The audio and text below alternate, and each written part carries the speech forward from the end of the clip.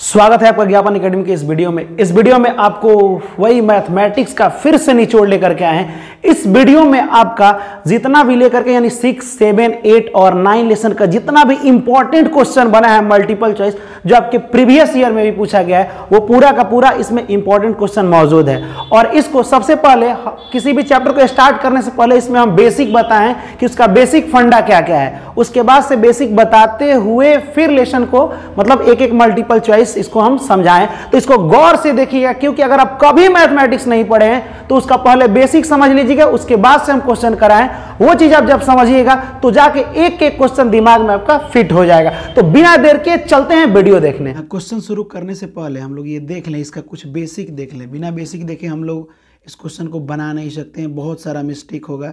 जिसका बेसिक कमज़ोर है, उसके लिए तो बहुत ज़रूरी है। देखिए, यहाँ दो ठो त्रिभुज है। एक ये हो गया और एक ये हो गया। इन दोनों त्रिभुज में अंतर क्या है? कि ये दोनों त्रिभुज एक ही रूप का है, यानी दोनों त्रिभुज समरूप है। ये वाला त्रिभुज और ये वाला त्रिभुज समरूप है, यानी एक ही रूप का है। लेकिन इसका लंबाई चौड़ाई बराबर नहीं है। देखिए, ये बड़ा है ये वाला और ये क्या है? छोटा है। लेकिन अगर देखा जाए तो ये दोनों रूप एक ही का है। जैसे कि समरूप का अर्थ कैसे समझेंगे? मान लीजिए कि एक आदमी का शकल दूसरे आदमी से हु बहु मिले लेकिन उसका हाइट में छोटा बड़ा अंतर पाया जाए, ठीक है? ये दोनों एक सेम टू सेम है, लेकिन इसके हाइट में क्या है? छोटा बड़ा अंतर है। इसीलिए सिर्फ़ रूप में समान है, इसीलिए इसको सम रूप कहा जाता है। एक होता है सर्वांग सम यानी कि सब कुछ उसका बराबर होना चाहिए। दो त्रिभुज दो त्रिभुज का हर एक पार्ट इसके हर एक पार्ट से बराबर होना चाहिए। यानी सर्वांगसम का मतलब हुआ उसका अंग अंग बराबर होना चाहिए। उसे सर्वांगसम कहते हैं। और जिसका सिर्फ़ क्या हो, रूप बराबर हो, कोई बड़ा, कोई छोटा हो सकता है। जैसे ताजमहल एक आप घर में रखते हैं, ठीक है? जो कि हम लोग छोटा सा एक डिज़ाइनिंग रखते हैं और एक रहता है जो रियल में आगरा में ताजमहल है। तो हम क्या करते हैं? जो हमारे पास ताजमहल होता है, वो बड़ा वाला ताजमहल का एक रूप है। यानी एक ही रूप का है। तो उसे क्या बोले ये दोनों क्या है, एक दूसरे के सम रूप है। वो सर्वांगसम नहीं है, जितना बड़ा वो ताजमहल है, ओरिजिनल, उतना हमारे, उतना बड़ा तो हमारे पास थोड़ा ना रहता है। तो वो सर्वांगसम नहीं है, क्या है, समरूप है, एक ही रूप का सिर्फ़ मिलता है। अब देखिए, जब कोई त्रिभुज सर्वांग, समरूप होता है तो देखिए क्या होता है, ये ए, बी और ये, देखिए आगे यहाँ थोड़ा सा हम लोग देख लें कि यदि दो समरूप त्रिभुज का क्षेत्रफल का अनुपात, ठीक है उनके संगत भुजाओं के वर्गों के बराबर होता है, यानी इस त्रिभुज का क्षेत्रफल और इस चीज़ दोनों का त्रिभुज का क्षेत्रफल अगर उसको अनुपात में करें, अनुपात का मतलब आप बट्टा समझिएगा, बट्टा में कीजिएगा तो ये कैसे होगा? वो यहाँ पे संगत भुजाओं के वर्ग के बराबर होता है, यानी मेरे कहने का मतलब है, यहाँ पे समझिएगा कि अगर इस त्रिभुज का एरिया निकालें और इस त्रिभुज का एरिया निकालें और दोनों को बट्टा करें तो किसके बराबर होता है? यानी इस संगत भुजा दोनों के वर्ग के बराबर होता है यानी कि ए बी।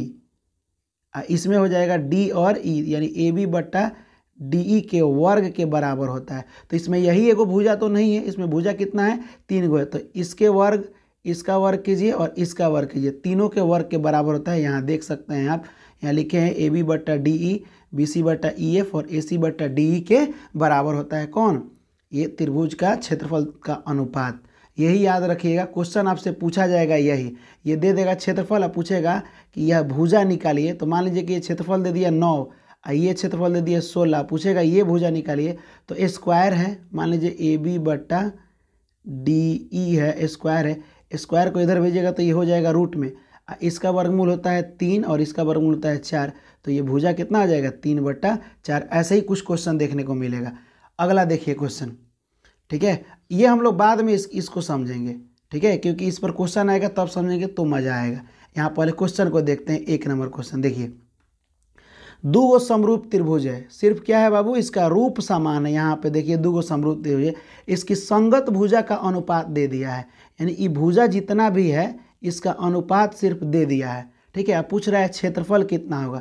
तो आपको तो फॉर्मूला पता है, जहाँ भुजा है, वहाँ भुजा भर दीजिए और क्षेत्रफल अपने से अनुपात में निकल जाएगा। देखिए कैसे। अब ये बताया था कि बड़ा वाला का एरिया और छोटा वाला का एरिया क्या होता है? यानी कि भुजा का अनुपात होता है तो चार बट्टा नौ का स्क्वायर हो जाएगा, ठीक है? इसके वर्ग का तो बताइए छोटा वाला और बड़ा वाला का एरिया का अनुपात कितना होगा? चार चौका सोलह बटा नौ, नवा इक्यासी, सोलह बटा इक्यासी दोनों के एरिया का अनुपात होगा। तो ये दोनों का एरिया है, आप बटा में रख देते इसको, अनुपात बोलेंगे, यानी कि इसका वन नंबर आंसर सही होगा। देखिए, इसी बेस पर हम तीन चार क्वेश्चन लिए आई सब वी वी आई क्वेश्चन है। वेरी वेरी इंपॉर्टेंट क्वेश्चन है। इसको प्लीज़ पूरा शेयर कीजिए, क्योंकि ये पूरा का पूरा जितना बार एग्ज़ाम में पूछा गया है, दो चार बार ये एग्ज़ाम में पूछा गया है, आपका प्रिय प्रीवियस ईयर आपके गाइड और आपका जो भी इंपॉर्टेंट क्वेश्चन बना है, उसी का हम निचोड़ मैथमेटिक्स में लेकर के आए हैं। यहाँ देखिए, अगला क्वेश्चन देखिए, वैसे ही है। इसमें बोल रहा है कि दो समरूप त्रिभुज है, लेकिन उसका संगत भुजा यहाँ दिया है। और उसमें क्या पूछा है? क्षेत्रफलों का अनुपात दिया। यहाँ भुजा दिया है और क्षेत्रफल पूछा है। वही चीज़ जो यहाँ पे दिया था, यहाँ पे भी क्या दिया था? संगत भुजा दिया था और क्या पूछा था? क्षेत्रफल पूछा था। तो हमने क्या किया? इसका स्क्वायर कर दिया चार चौका सोलह और नौ, नवा इक्यासी तो वैसे ही ये भी कर दो। यहाँ पे क्या हो जाएगा? देखिए, तीन तरीका, नौ और पचास, पच्चीस। यानी नौ अनुपात पच्चीस आपका आंसर हो जाएगा ए अगला क्वेश्चन है दो समरूप त्रिभुज का क्षेत्रफल इसमें दिया है। उसमें दिया था सिर्फ़ भुजा और इसमें दिया है क्षेत्रफल, ठीक है? तो यहाँ पे बोला है कि तब भुजा क्या होगा? यहाँ वही बात है, दोनों का एरिया का अनुपात, यानी यहाँ बड़ा वाला का एरिया, एगो यहाँ छोटा वाला। और यहाँ पे होता है दोनों भुजा का अनुपात तो यानी लिख देते हैं ए बी बट्टा बी सी। कोई भी भुजा ले सकते हैं इसका अनुपात। क्या दिया है इसमें? इसमें दिया है ये एरिया, क्षेत्रफल दिया है। दोनों का क्षेत्रफल भरिए, यहाँ पे दिया कितना है क्षेत्रफल? एक चौंसठ दिया है और एक दिया है एक सौ। इक्कीस। और इधर देखिए, इधर लिखिएगा आप ए बी बट्टा बी सी का स्क्वायर। जब ये स्क्वायर इधर जाएगा तो ये रूट में हो जाएगा। तो चौंसठ का वर्गमूल होता है आठ और एक सौ इक्कीस का वर्गमूल रूट से निकलेगा तो ग्यारह, यानी आठ बट्टा ग्यारह, यानी आठ अनुपात ग्यारह इसका आंसर हो जाएगा। आपका कौन सा आंसर सही है? आठ अनुपात ग्यारह। उम्मीद करते हैं कि ये समझ में आ रहा होगा। अगला क्वेश्चन देखिए। अगला क्वेश्चन है, दो समरूप त्रिभुज का क्षेत्रफलों का अनुपात। ठीक है? यानी कि दोनों के क्षेत्रफल का अनुपात नौ अनुपात पाँच है तो उसकी संगत ऊंचाई का अनुपात क्या होगा? वही बात है, ऊंचाई भी तो एक प्रकार का लंबाई है तो अभी बताए थे कि दो अगर एक ही रूप का त्रिभुज हो तो उसका क्षेत्रफल का अनुपात कितना होता है? उसके लंबाई के स्क्वायर के बराबर होता है, यानी कि अगर आप क्षेत्रफल है, एरिया इसका समझिएगा, ये भी एरिया है, इसका अनुपात क्या होता है? लंबाई ऊंचाई भी तो एक लंबाई है, ठीक है? तो यहाँ पर लिखिएगा बड़ा वाला एक लंबाई मान लीजिए, एक छोटा वाला लंबाई, क्योंकि दो गो त्रिभुज है तो दो गो उसमें क्या होगा? शीर्ष लंब होगा, यहाँ देखिए तो ये भी एक प्रकार का होगा, ये भी तो इतना बट्टा, इतना कर दिए हम एल बट्टा एल यहाँ क्या दिया है? नाइन तो नाइन बट्टा स्क्वायर होता है ये, नाइन बट्टा फोर हो जाएगा, जब ये स्क्वायर इधर जाएगा तो रूट में होगा, इसका वर्गमूल होता है तीन, इसका दो तो तीन बट्टा दो यानी तीन अनुपात दो इसका आंसर हुआ। तीन बट्टा दो का मतलब समझते हैं, तीन बट्टा दो, अगर ये नहीं कटता है तो इसको अनुपात में लिखते हैं, तीन अनुपात दो। आपका आंसर कौन हो जाएगा? बी। ठीक है, उम्मीद कर रहे होंगे कि आपको समझ में आ रहा होगा। अगला क्वेश्चन देखिए। हाँ ये क्वेश्चन देखने से पहले थोड़ा सा हम लोग बेसिक देख ले, लेकिन इसमें कुछ खास बेसिक है नहीं। एनी एनीवे देखते हैं। ठीक है, त्रिभुज दिया है ए बी सी और डी ई एफ़ क्या है? दोनों समरूप है, एक ही रूप का है। बड़ा छोटा हो सकता है, लेकिन रूप तो समान है। उसका क्षेत्रफल दिया है कितना? नाइन। एक का क्षेत्रफल त्रिभुज का नाइन है और दूसरे का क्षेत्रफल कितना है? सिक्सटीन है। और उसमें बोल रहा है कि ई e एफ़ जो ई e से एफ़ है, वो कितना है? फोर पॉइंट टू है तो बी सी कितना होगा? ठीक है? तो आपको एक चीज़ हम बताए थे यहाँ पे कि दो त्रिभुज का क्षेत्रफल जब दिया है तो ये कैसे निकलेगा? यहाँ हम लोग गौर से देखेंगे। ठीक है? और बढ़िया से एक एक करके समझते जाएँगे। दोनों का एरिया निकालिए पहले। दोनों का एरिया का मतलब समरूप है तो इसका एरिया कितना होगा? एरिया ये इतना बट्टा इतना। ठीक है? और बराबर भुजा होता है तो एक भुजा दिया है ई एफ़ और एक भुजा दिया है बी सी तो यहाँ पे हम लिखते हैं, एरिया बट्टा छोटा एरिया, छोटा त्रिभुज का एरिया बराबर, यहाँ लिखते हैं बी सी बट्टा ई एफ़ का स्क्वायर ठीक है? यहाँ पे बी सी तो दिया नहीं है, ठीक है? ये वाला दिया है, बड़ा वाला का एक एक मान लिया कि एरिया कितना है? नाइन है, ठीक है? एक एरिया कितना है? सिक्सटीन है, ठीक है? छोटा बड़ा ऊपर नीचे हो गया है, ठीक है? अब देखिए बी सी नहीं पता है। क्वेश्चन में हमको बी सी नहीं पता है, लेकिन ये तो पता है ना फोर पॉइंट टू है। तो यहाँ देखिए, यहाँ लिख दीजिएगा बी सी और ये लिखिएगा फोर पॉइंट टू जब ये होता है बीच में इक्वल टू तो तिरछा तिरछी गुणा करते हैं। जब हम तिर या फिर एक और काम कीजिए आप। इसका तो स्क्वायर है ना स्क्वायर को इधर भेजिएगा तो रूट में हो जाएगा। तो रूट में हो जाएगा तो नौ का वर्गमूल होता है कितना? तीन। और यहाँ देखिए, इसको थोड़ा सा हम लोग इधर कर दें। इधर कर दें। और यहाँ सोलह का वर्गमूल कितना होता है? चार होता है। इधर बचा बी सी बटा स्क्वायर तो हट गया है फोर पॉइंट टू अब क्रॉस मल्टीप्लाई आप यहाँ से कर सकते हैं। जब फोर्टी टू में थ्री से मल्टीप्लाई कीजिएगा तो कितना होगा? तीन दूना छः और चार तिहाई बारह, एक सौ छब्बीस। अब बट्टा में कितना होगा? चार। जब एक सौ छब्बीस को कटाइएगा तो आपका आंसर आएगा तीन पॉइंट एक पाँच। यहाँ पे ऑप्शन देखिए तो कहीं दिया है तीन पॉइंट एक पाँच। वही आपका आंसर हो जाएगा। तो यहाँ देखिए आप तीन पॉइंट एक पाँच दिया है। अगला क्वेश्चन। अब यहाँ ई क्वेश्चन को देखने से पहले थोड़ा सा हम लोग बेसिक समझ लो। ये ऊपर वाला, बेसिक ये वाला। देखिए। अगर कोई त्रिभुज है, ठीक है? मान लीजिए कि ए बी सी एक त्रिभुज त्रिभुज किसको कहते हैं? जिसमें तीन गो भुजा और फिगर बंद हो। उसके बीच में एक लाइन है, यानी कि डी से ई एक लाइन खींचे हैं। ये लाइन और ये लाइन दोनों पैरेलल है। पैरेलल का मतलब होता है समानांतर। समानांतर किसको कहते हैं? यानी बीच का जो भी गैपिंग हुआ है क्या होगा? समान होगा। देखिए, जितना चौड़ाई यहाँ है, सब चौड़ाई क्या हो? समान उसे क्या बोलते हैं? सर्वा क्या बोलते हैं जी? समानांतर लाइन बोलते हैं। जब ये लाइन समानांतर होता है तो ये वाला लाइन का कई गो रूल होता है।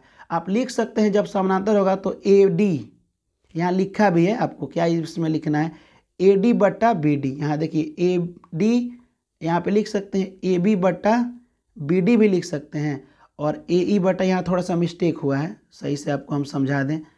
ये हटा करके ऐसे, देखिए, अगर ये लाइन क्या हो पैरेलल हो, समानांतर हो तो आप लिख सकते हैं यहाँ पे ए डी बट्टा बी डी और लिख सकते हैं ए ई बट्टा ई सी। यहाँ ये भी लिख सकते हैं। या फिर आप लिख सकते हैं ए डी बट्टा पूरा ए बी, ठीक है, और ए ई बट्टा पूरा ए सी, ठीक है। जो इधर लेंगे वो इधर भी लेना पड़ेगा। अगर आप इधर लेते हैं ए डी और फिर लेते हैं, जैसे ले लिया आप ए डी और फिर लेते हैं आप ए बी तो वही काम एक बार छोटा वाला इसमें ए ई और फिर ए सी लेना पड़ेगा। जो काम इधर करेंगे, वही काम इधर करेंगे। अगर ये, अगर इस साइड में अगर आप कर रहे हैं इतना और फिर ये आधा ले रहे हैं तो इसमें भी आधा और आधा ही बट्टा में लेना पड़ेगा। यानी कि यहाँ पे देखिए, लिए हम ए डी बट्टा ए बी यानी कि ए डी बट्टा ए बी पूरा। फिर ए सी बटा ए ई बट्टा पूरा ए सी तो यहाँ पे वो लिए हैं और यहाँ पे होगा डी तो ए डी बट्टा डी बी और ए ई बट्टा ई सी ये लिए हैं यहाँ पे, ठीक है? तो इसी हिसाब से क्वेश्चन सब बनेगा यहाँ पे, देखिए सिक्स नंबर से। सिक्स नंबर क्वेश्चन है, दिए गए चित्र में ये और ये लाइन दोनों क्या है? डी ई और, यहाँ इसको साइड कर दे डी और बी सी लाइन यहाँ दिया है कि पैरल है। पैरल का सिंबल ऐसे होता है। ए से डी ए डी कितना है? दो। बी से डी कितना है? तीन। और क्या दिया है? ए से ई। ए, ई कितना दिया है? एक पॉइंट छः अब पूछा है ये। तो आपको अभी बताएँ, इतना बट्टा इतना कीजिए। ये निकालना है ना, फिर इतना बट्टा इतना कर दीजिए। जैसे कि यहाँ हम देखिए कैसे कर रहे हैं। यहाँ हम लिख रहे हैं, इतना बट्टा इतना, मान दो बट्टा तीन बराबर ए ई। ए कितना है? एक पॉइंट छः अब बट्टा में ई सी नहीं पता है तो छोड़ दो, वही तो निकालना है, ई सी। ये ऊपर ऊपर कट सकता है। दो अट्ठे, सोलह। पॉइंट में है पॉइंट एक अंक के बाद यहाँ पे है तो यहाँ भी हम लोग एक अंक के बाद पॉइंट अब तिरछा तिरछी गुणा कीजिएगा तो यहाँ पे कितना होगा? आठ तरीका चौबीस। यहाँ गुणा होगा तो ई सी होगा। तो ई से सी बराबर हो जाएगा आठ तरीका चौबीस, एक अंक के बाद दशमलव दो पॉइंट चार हुआ आपका आंसर ठीक है? अगला क्वेश्चन देखिए। अगला क्वेश्चन है, ध्यान से देखते चलिएगा। वही सेम है, उसी बेस पर है। आई सब प्रीवियस ईयर में पूछा गया, इसीलिए गौर से देखिएगा। ये वाला आपको दे दिया है, ये वाला दे दिया है, ठीक है? और पूछा है, ये दिया है, और पूछा है बीसी कितना होगा, ठीक है? इसमें आपको बीसी निकालना है कि बीसी कैसे निकालेंगे, आप देखिएगा। सेम वैसे ही काम करेंगे। जब ये दो बट्टा हम छः लिख सकते हैं तो इसको हम तीन बट्टा बराबर में, ये कुछ नहीं है तो बीसी लिख दो। अगर देखिए यहाँ पे हम कटा दें अच्छा रहेगा। तो ये हो जाएगा दो तिहाई छः। और जब बीच में बराबर हो तो तिरछा तिरछी गुणा तो ये बी आ जाएगा इधर, ठीक है? यानी कि एक्स मान लिया, जो भी मान ले तो ये हो जाएगा बी और ये हो जाएगा तीन तरीका नौ। देखिए, अगर आपको नाइन आंसर नाइन आंसर दिया है तो आपका वही आंसर सही हो जाएगा। अगला क्वेश्चन, आप ध्यान से इसको देखते चलिएगा, ठीक है? अगला क्वेश्चन है, त्रिभुज ए बी सी में, मान लीजिए कि एगो हमने त्रिभुज बना दिया यहाँ पे ए बी सी में पी और क्यू भुजा, माने बिंदु भुजा ए बी और ए सी को क्रमशः इस प्रकार करती है मतलब प्रकार है कि, यहाँ समझिए ए बी सी में पी और क्यू ऐसे है कि B C line P Q के समानांतर है तो ये हो जाएगा पी और ये हो जाएगा क्यू इस लाइन का नाम। तो अभी बताए थे जब पी और क्यू तो ये सब बराबरे भाग में बटेगा। तो ए पी कितना है? ए से लेके पी तक दिया है तीन उसके बाद से बी से पी तक, यानी कि बी पी कितना दिया है? दो। और ए से लेके क्यू तक वाला लाइन दिया है सिक्स अब पूछा क्या है ये लाइन? तो बट्टा कर दीजिए। तीन बट्टा दो बराबर सिक्स बट्टा, यहाँ पे नहीं पता है तो क्यू सी ही लिख दीजिए सी क्यू या क्यू सी और यहाँ आप तीन दूना छः कर दीजिए क्रॉस मल्टीप्लाई कीजिए तो दो दूना कितना हो जाएगा? चार हो जाएगा। यानी क्यू सी बराबर आपका चार आंसर सही है। यहाँ पे आपको देख सकते हैं इसको। यहाँ इस क्वेश्चन को गौर से समझेंगे। ए बी सी एक त्रिभुज है और डी ई बी सी के पैरेलल है। तो सबसे पहले हम एक त्रिभुज बनाते हैं। बड़ा सा एक त्रिभुज बना लिए, जिसमें ये बी है, ये सी है, ये ए है और यहाँ पे है डी और ई तो फॉर्मूला के अकॉर्डिंग होता है ए डी बट्टा डी बी मतलब ये वाला बट्टा ये वाला, यहाँ से यहाँ तक। ए डी बट्टा डी बी और बराबर में होगा ए ई अब बट्टा में हो जाएगा ई से सी आप देखिए यहाँ पे ए डी दिया है। ए डी कितना है? पाँच है और ये बी सी बी से डी कितना है? यहाँ पे दिया है थ्री तो आप लिख सकते हैं इसके जगह पर पाँच बट्टा थ्री और यहाँ पे ए ई बट्टा ई सी भी लिख सकते हैं। ठीक है? तो बताइए ए ई बराबर पाँच आया, ये भी पाँच हो गया और ई सी बराबर कितना आया? तीन आया तो ये भी तीन हो गया। यानी दोनों ये आपस में क्या हो गया?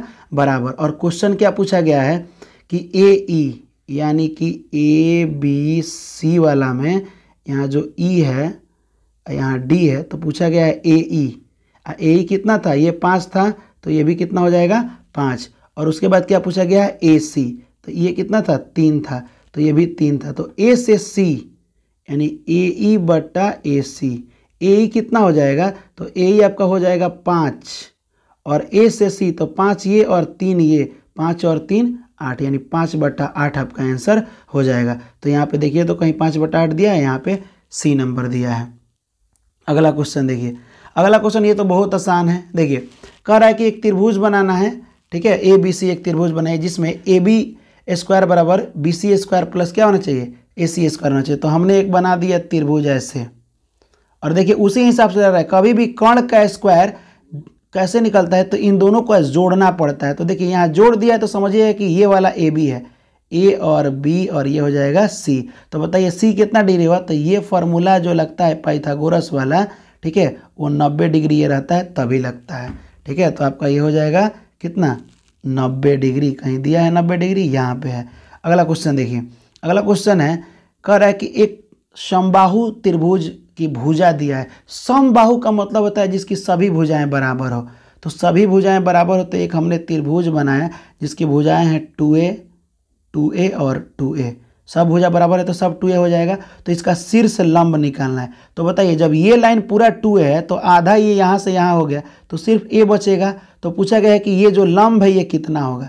तो वही बात है, पाइथागोरस फॉर्मूला लगाइए, और ये आपको निकालना हो तो इसमें से इसको घटा दिया जाता है। यानी कि under root two A square में से घटा दिया जाता है ए स्क्वायर। तो ये हो जाएगा दो दूना चार A square minus A square. चार में ए स्क्वायर में से ए स्क्वायर जाएगा तो बचेगा कितना? तीन ए स्क्वायर। स्क्वायर से रूट खत्म हो जाएगा सिर्फ़ ए के लिए। तो ए बाहर हो जाएगा और रूट अंडर तीन अंदर हो जाएगा। तीन रूट ए आपका आंसर हो जाएगा, यानी रूट तीन ए। यहाँ पे ये आपका आंसर हो जाएगा।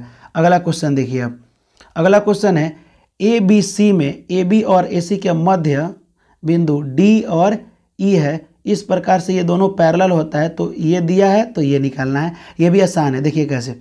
हम बना रहे हैं सबसे पहले एक त्रिभुज ए बी सी एक ए बी सी बनाएँ और ए बी और ए सी क्या है? इसके बीच में तो A B C A B के बीच में हो जाएगा यहाँ पे डी और ये हो जाएगा ई e, ठीक है?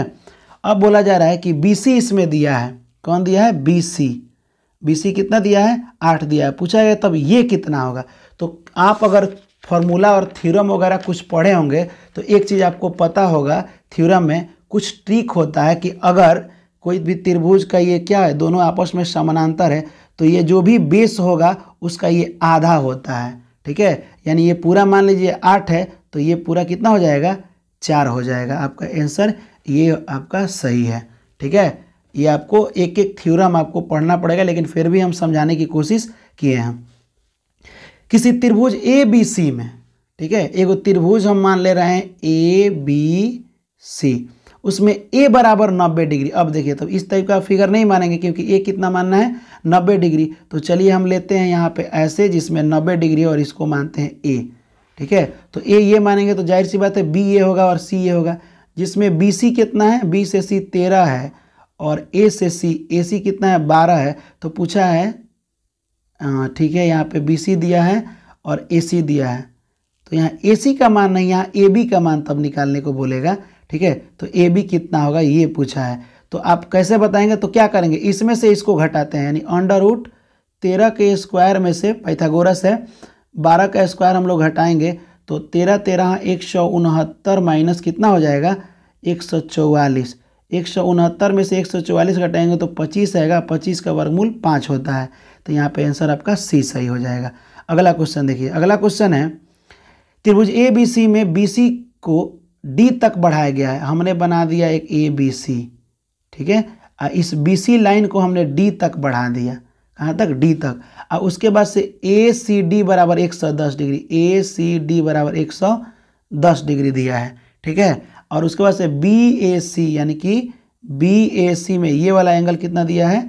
फिफ्टी सेवन डिग्री दिया है। अब बताइए कि यहाँ से यहाँ जब एक सौ दस डिग्री ये दिया है, ये कितना दिया? एक सौ दस तो एक पूरा एक लाइन पर एक सौ अस्सी डिग्री का कोण बनता है। तो जब पूरा एक सौ अस्सी डिग्री का कोण बनेगा तो बताइए 180 में से यहाँ से 110 घटा देंगे तो ये कितना बचेगा? तो 180 में से जब 110 घटाएँगे तो ये 70 डिग्री होगा। और ये कितना डिग्री है? संतावन डिग्री है। तो बताइए, जब त्रिभुज में तीनों एंगल का योग 180 होता है, ये हो गया संतावन है ये हो गया आपका सत्तर तो संतावन और सत्तर आप ऐड कर लीजिएगा और उसमें से जब घटाइएगा आप, ठीक है तो आपका बचेगा, मे बी तिरपन बचेगा, ठीक है, आपका आंसर इसमें तिरपन होगा, आप देख लीजिएगा। अगला क्वेश्चन देखिए, अगला क्वेश्चन है, यहाँ पे सम समद्विबाहु त्रिभुज ए बी सी में, एगो समद्वि, समद्विबाहु का मतलब क्या होता है, सम माने बराबर द्वि माने दू और बाहु माने भुजा, जिसका दो गो भुजा बराबर हो, यानी ऐसे हम बनाते हैं। ये वाला दोनों भुजा आपस में क्या है? बराबर है, ठीक है? अब उसके बाद से कह रहा है कि ए बी सी यानी कि ए बी सी ऐसा बनाना है त्रिभुज, ठीक है, जिसमें ए सी और बी सी बराबर हो, ठीक है? यानी ए सी और बी सी बराबर हो तो यहाँ पे कितना डिग्री का कोण बनना चाहिए, ये पूछा गया। वैसे ये बनेगा 90 डिग्री। आप इसको डीपली समझना पड़ेगा क्योंकि ये समझाने में काफ़ी लॉन्ग मेथड लगेगा। जब ये दो गो लाइन बराबर लेडी है तो आप सोच सकते हैं कि मान लीजिए कि ए बी स्क्वायर बराबर लिखा जाए, आपका A C square plus B C square. और जब ये दोनों बराबर हो तो हम ए सी के जगह पे बी सी या फिर बी सी की जगह पे ए सी लिख सकते हैं। ठीक है? क्योंकि अच्छा आई किस फॉर्मूला में होता है तो ये हमेशा नब्बे डिग्री के फॉर्मूला में होता है। ठीक है? क्योंकि न समकोण त्रिभुज में ही पैथागोरस फार्मूला लगता है, इसके सिवा कहीं नहीं लगता है। अगला क्वेश्चन है, किसी त्रिभुज के दो कोणों का योग तीसरे कोणों के बराबर है, कोई भी त्रिभुज है ऐसे, ठीक? इसके दो कोणों को जोड़ा जाए तो अकेले तीसरा कोण के बराबर आएगा, ठीक है? यदि उन दोनों कोणों का अंतर कितना हो, पचास हो, इसका इसका घटाया जाए तो पचास हो तो बताइए त्रिभुज कितना होगा? तो सबसे पहले एक बात समझिए, दो कोण को जोड़ा जाए तो तीसरे के बराबर आएगा। तो यहीं पे देखिए ना इसमें इन दो गो कोण को जोड़ने के बाद तीसरा के बराबर आ रहा है सत्तर और बीस नब्बे ये दोनों कोण का अंतर कितना है? पचास है। ठीक है तो ऑप्शन आपका यही सही हो जाएगा। यहीं से आपको दिख जा रहा है। पूरा लॉन्ग बनाने की ज़रूरतें नहीं है। यहाँ अगला क्वेश्चन देखिए। अगला क्वेश्चन है किसी त्रिभुज के तीनों लंब, यानी कि तीनों लंब को मिलाने पर उसे क्या कहा जाता है? बिंदु को मिलाने पर। तो ये देखिए, ये त्रिभुज है। तीनों लंब को मिलाइए। यहाँ से ये मिलाइएगा लंब, यहाँ पे लंब मिला नब्बे डिग्री, यहाँ पे मिलाइए, यहाँ पे मिलाइए। तो यहाँ पे कहीं ना कहीं कटेगा तो यानी लंबवत क्या होता है? केंद्र हो रहा है। यानी लंब सीधा आ रहा है, आके ये केंद्र पर मिल रहा है। इसीलिए इसका आंसर क्या हो जाएगा? यहाँ पे लंबो, लंब केंद्र होगा। अगला देखिए, अगला क्वेश्चन है, इसको थोड़ा सा ऊपर कर दें।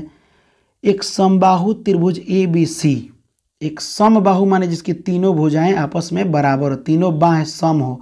यानी तीनों बाहें बराबर हो, उसका एक भुजा दिया है। एक भुजा मतलब क्या? जब सब बराबर है तो सब बारह ही हो जाएगा। तो बताइए इसकी ऊंचाई क्या होगी? तो आप बताइए, ये बारह दिया है, आई पूरा बारह है तो आधा हो जाएगा छः तो वही पैथागोरस फॉर्मूला लगा दीजिए रूट वाला। तो बारह स्क्वायर में से छः स्क्वायर घटा दीजिएगा। रूट में कितना आएगा? तो ये एक बार हम घटा के आपको दिखा भी दे रहे हैं। अंडर रूट बारह स्क्वायर में से आप छः का स्क्वायर घटाइएगा। ठीक है? तो ये हो जाएगा बारह बारह एक सौ। चौवालीस और माइनस में हो जाएगा छत्तीस। आप घटाइएगा तो कितना होगा? चौदह में से छः जाएगा छः के बाद छः और छः बारह, आठ बचेगा, ठीक है? और यहाँ बचेगा कितना? तीन तो तीन में से तीन जाएगा ज़ीरो, एक एक सौ आठ। और जब इसको रूट से निकालिएगा तो आएगा छः रूट दो छः रूट थ्री आएगा सॉरी गौर से देखिएगा, उसी टाइप का फार्मूला टाइप का किस तरह से इसमें क्वेश्चन पूछा जाता है। और ये क्वेश्चन पूरा वीवीआई है। जितना भी क्वेश्चन है, सब क्वेश्चन आपके एग्ज़ाम के लिए काफ़ी इंपॉर्टेंट है, क्योंकि पूरा प्रीवियस ईयर का भी है और पूरे गाइड का निचोड़ देखा जाए तो ये पूरा उस लेसन से सेवन लेसन से निर्देशांक जमिति से लिया गया है। ध्यान से इसको समझिएगा। लिखा है कि बिंदु three comma four minus three comma eight को मिलाने वाले मध्य बिंदु का निर्देशांक, यानी कि मान लीजिए कि एक लाइन हो गया है, ठीक है? इधर का निर्देशांक तीन कमा चार और इधर का निर्देशांक माइनस तीन कमा आठ। इसके मध्य बिंदु यानी बीच में एकदम इसका अगर बिंदु निकालना हो कि यहाँ से यहाँ तक और ये बीच में बिंदु कौन सा होगा तो उसका क्या फॉर्मूला है? तो मध्य बिंदु का फॉर्मूला होता है, ठीक है? मध्य बिंदु का फॉर्मूला होता है x one plus x two by two और y one plus y two by two ठीक है? तो यहाँ देखिएगा, ये फॉर्मूला वो भरेंगे तो कैसे आंसर आएगा? एक्स वन कितना है? थ्री है। पहला वाला को एक्स वन बोलते हैं, दूसरा x two sorry y two y one इसमें हो जाएगा ये एक्स टू और ये वाई टू तो हो जाएगा x one plus x two कितना है? माइनस में थ्री और बट्टा में हो जाएगा टू और कमा यहाँ पे हो जाएगा y one plus y two और बट्टा में हो जाएगा यहाँ पे टू ये तो तीन से तीन ज़ीरो जाएगा तो ये पूरा का पूरा हो जाएगा ज़ीरो. और ये आठ और चार कितना होता है? बारह और बट्टा में हो जाएगा दो. दो छक बारह. यानी ज़ीरो कमा छः इसमें अगर कहीं ऑप्शन दिया है तो ऑप्शन डी आपका सही होगा. ठीक है? उम्मीद कर रहे हो कि आपको समझ में आ रहा होगा, और वैसे भी फॉर्मूला आपको याद करने का तरीका हम बता दिए हैं. यहाँ देखिए, अगला क्वेश्चन है, इसके बीच की दूरी निकालना है. अब देखिए, इसमें, ये दोनों में का अंतर है? यहाँ माइनस सिक्स है सेवन है. ठीक है? और यहाँ है माइनस वन और क्या है? थ्री है। दो गो यहाँ पे निर्देशांक दिया है। अब कह रहा है कि यहाँ से लेकर के ए और बी मान लेते हैं इसको। इसके बीच है, यहाँ से यहाँ तक कितना दूरी है? ऊपर वाले फॉर्मूले में था कि इसके बीच वाला दूरी निकाले यहाँ पे इसके मिड पॉइंट कहाँ पे आएगा? मान लीजिए कि यहाँ पे आएगा तो ये। लेकिन इस क्वेश्चन में है कि यहाँ से यहाँ तक की दूरी क्या है? तो दूरी का फॉर्मूला होता है यहाँ पे x two minus x one का whole square plus y two minus y one का होल स्क्वायर ठीक है? लेकिन थोड़ा सा इसमें आंसर मिस्टेक दिया है। जब आप निकालिएगा इस फॉर्मूला से x two minus x one से तो एक्स टू कितना है? माइनस वन यही है एक्स टू और एक्स वन कितना है? माइनस सिक्स तो माइनस एगो फार्मूला में होता है, एगो यहाँ का माइनस प्लस में सिक्स बट स्क्वायर हो जाएगा। यहाँ प्लस वाई टू कितना है? थ्री और वाई वन है? माइनस सेवन हो जाएगा यहाँ पे। पाँच में से ये छः में से एक जाएगा तो बचेगा यहाँ पे पाँच का स्क्वायर और यहाँ पे हो जाएगा माइनस में चार का स्क्वायर पचास होता है पच्चीस। अब प्लस में होता है चार चौका सोलह सोलह पच्चीस होता है कितना? इकतालीस। रूट में आपका इकतालीस, यहाँ पे आंसर होगा, थोड़ा सा मिस्टेक हो गया, यहाँ पे अंडर रूट क्या होगा? फोर्टी वन होगा, ठीक है? अगला क्वेश्चन देखिए, अगला क्वेश्चन है, कह रहा है कि ये इंपॉर्टेंट है, ये वीवीआई क्वेश्चन है, देखिए, बिंदु यहाँ पे आप सोच में पड़ जाइए कि दो दो ठो तो बिंदु दिया ही नहीं है, लेकिन कोई दिक्कत नहीं, यहाँ पे पी दिया है आपको माइनस सिक्स कमा एट की दूरी मूल बिंदु से क्या है? तो बताइए, इस तरह रहता है तो मूल बिंदु यानी मेन यहाँ पे है। तो यहाँ पे तो एक्स और वाई का वैल्यू तो क्या होगा? ज़ीरो कमा ज़ीरो ही होगा। और ज़ीरो कमा ज़ीरो और माइनस सिक्स कमा एट के बीच की दूरी निकालना है। तो वही बात है एक्स टू में से एक्स वन को घटाइएगा और इसमें से इसको घटाइएगा। घटाने के बाद आपका आंसर कितना आएगा? दस आएगा। फॉर्मूला बीच का दूरी का भर लीजिएगा। कौन से बीच की दूरी? तो यहाँ ज़ीरो कमा ज़ीरो और माइनस सिक्स कमा एट के बीच की दूरी का फॉर्मूला भरिएगा। आपका आ जाएगा दस आंसर अगला क्वेश्चन देखिए। कार्तीय तली में स्थित किसी बिंदु थ्री कमा माइनस चार के कोटि का है। इसमें बताइए तो इसमें कोटि कौन है? तो देखिए एक्स को कहते हैं हम लोग भूज और वाई को बोलते हैं कोटि। अगर ऐसे बोला जाए तो इस लाइन को हम लोग कहते हैं भूज और इस लाइन को कोटि। तो यहाँ पे दोनों में कोटि कौन है? माइनस चार है। यहाँ पे हो जाएगा माइनस चार तो आपका ऑप्शन ए सही हो जाएगा। ये जो एक क्वेश्चन है, त्रिभुज ए बी सी के दो शीर्ष दिया हुआ है यहाँ पे। और यहाँ पे केंद्रक दिया हुआ है, एक त्रिभुज हम बनाते हैं जिसमें मान लीजिए कि ये पहला शीर्ष सिक्स कमा फोर दे दिया है, दूसरा दे दिया हो आपको माइनस दो कमा दो दे दिया हो, तीसरा आपको नहीं दिया हो तो एक्स कमा वाई मान लेते हैं हम, ठीक है? और आपका केंद्रक दिया है, यानी बीच वाला दिया है तीन कमा चार तो इसका केंद्रक का एक फॉर्मूला होता है, यानी केंद्र बराबर होता है केंद्रक का, ठीक है? X one plus x two plus x three by two x one plus x two plus x three बट्टा में टू और comma y one plus y two plus y three by two ठीक है, ये फॉर्मूला भरिएगा तो आ जाएगा। यानी केंद्रक कितना है? तीन कमा माइनस चार और एक्स वन कितना है? सिक्स प्लस एक्स टू कितना है? माइनस दो। अब प्लस एक्स थ्री कितना है? नहीं पता है तो छोड़ दो।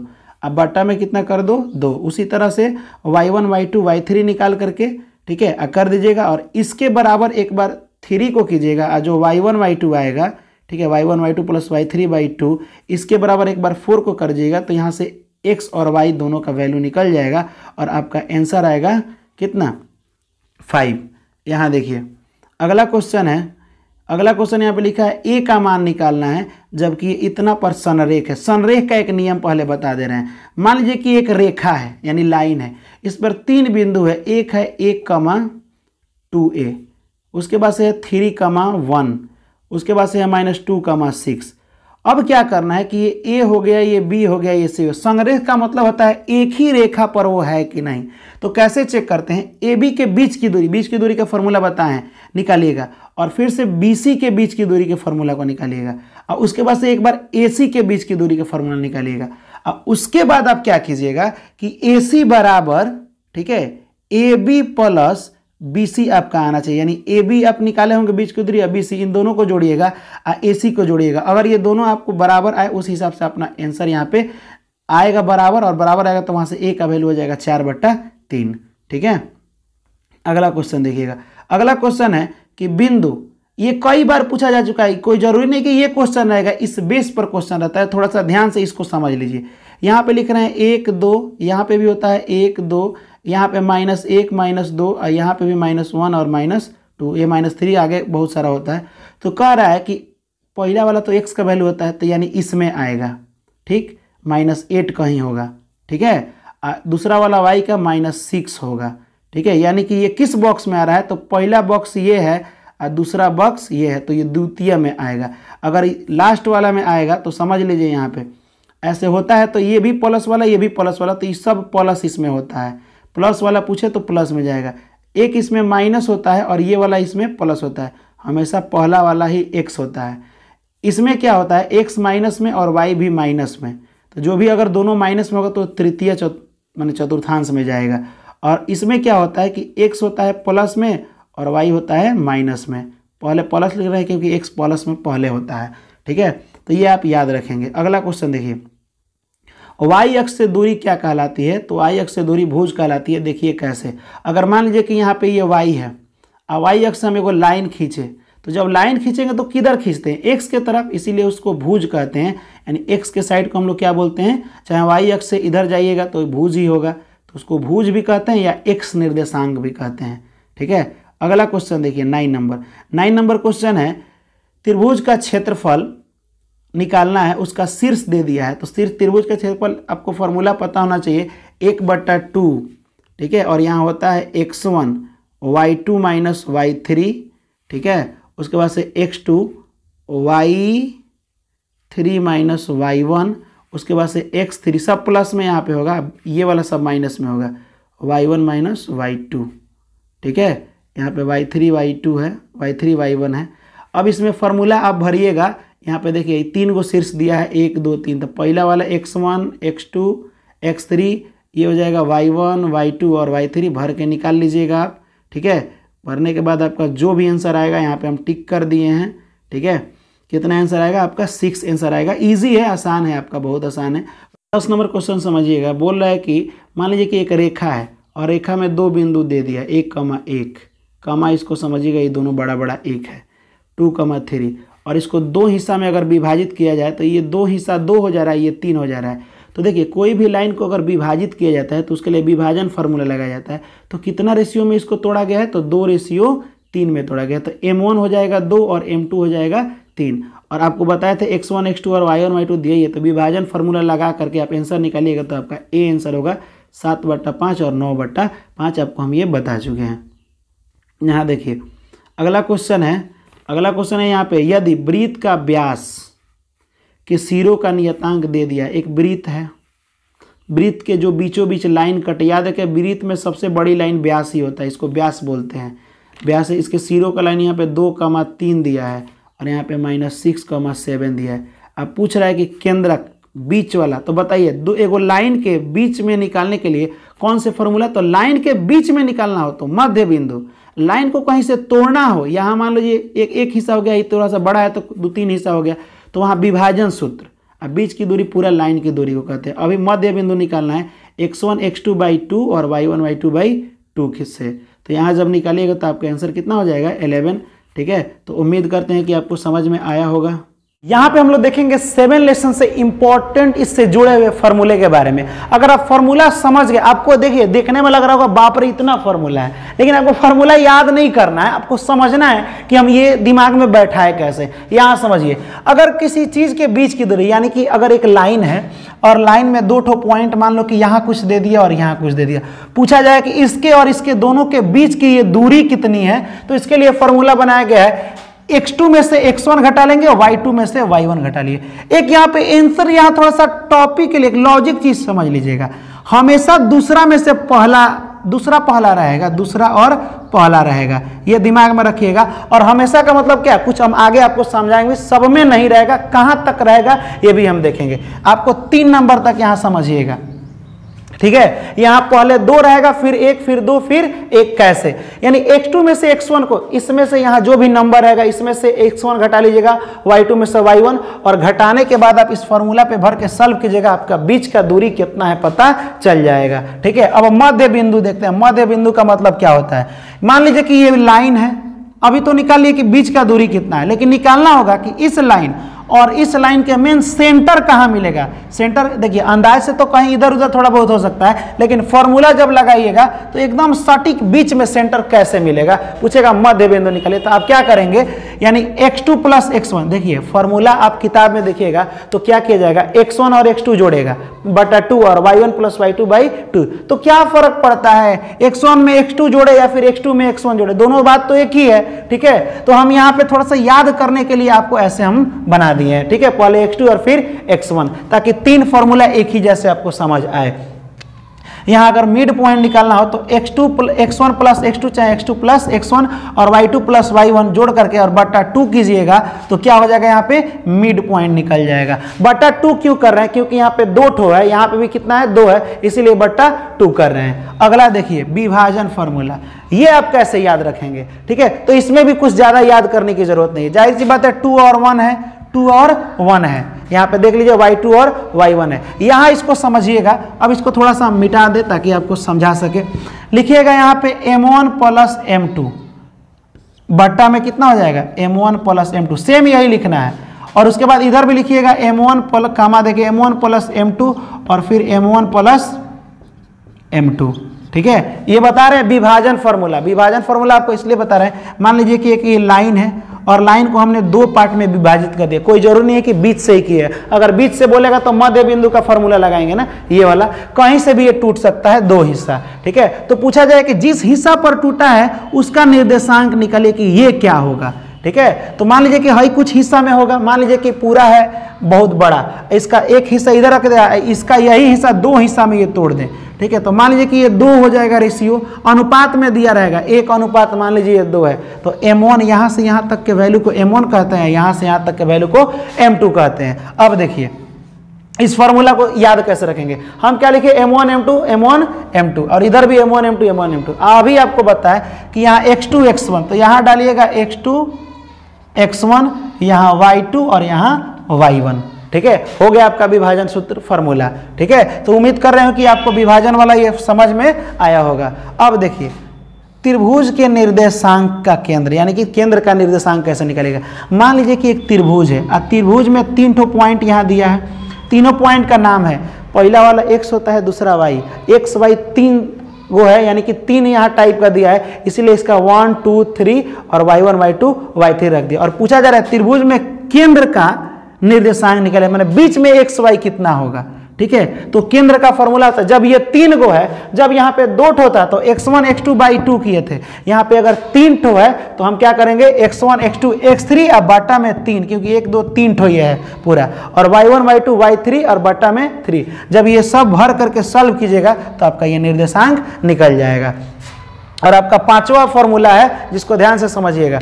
पांचवा फॉर्मूला इसका क्षेत्रफल निकालना है कि त्रिभुज का ये पूरा का पूरा एरिया कितना दूर में है? क्षेत्रफल तीन गुण निर्देशांक ऐसे ही दिया है, ठीक है? तो त्रिभुज का क्षेत्रफल होता है एक बट्टा टू और आधार गुणे शीर्षलम यानी कि बेस इंटू हाइट वो क्या करेंगे?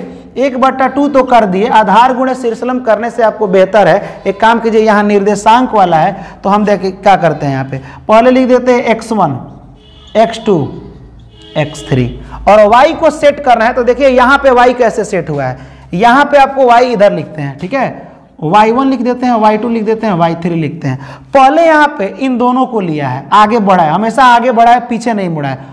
Y two minus y three यहाँ से ये आगे बढ़ेगा, फिर ये नहीं लिया जा सकता है, क्योंकि वाई टू वाई थ्री एक बार लिया जा चुका है। यहाँ से आगे ये लाया है वाई थ्री माइनस वाई यानी पहली बार में लिया है वाई टू माइनस वाई ठीक है? दूसरी बार में लिया गया है, यहाँ एक्स टू के साइड में y three minus y one और तीसरा बार में क्या लिया गया है? अब बताइए, कौन बच गया? यही ना दोनों बच गया। ठीक है? तब पूरा का पूरा इसमें मिल जाए y one minus y two यानी कि यहाँ मिटा दे y one minus y two तो यही आपका यहाँ पे देख लीजिए, यहाँ पे फॉर्मूला है। ठीक है? X two minus y two minus y three y three minus y one और ये वाला फिर इससे। तो उम्मीद करते हैं कि फॉर्मूला समझ में आएगा। तो बिना देर किए हम लोग चलते हैं क्वेश्चन की तरफ़। गौर से देखिएगा, उसी टाइप का फार्मूला टाइप का किस तरह से इसमें क्वेश्चन पूछा जाता है। और ये क्वेश्चन पूरा वीवीआई है। जितना भी क्वेश्चन है, सब क्वेश्चन आपके एग्ज़ाम के लिए काफ़ी इंपॉर्टेंट है, क्योंकि पूरा प्रीवियस ईयर का भी है और पूरे गाइड का निचोड़ देखा जाए तो ये पूरा उस लेसन से सेवन लेसन से निर्देशांक ज्यामिति से लिया गया है। ध्यान से इसको समझिएगा। लिखा है कि बिंदु three comma four minus three comma eight को मिलाने वाले मध्य बिंदु का निर्देशांक, यानी कि मान लीजिए कि एक लाइन हो गया है, ठीक है?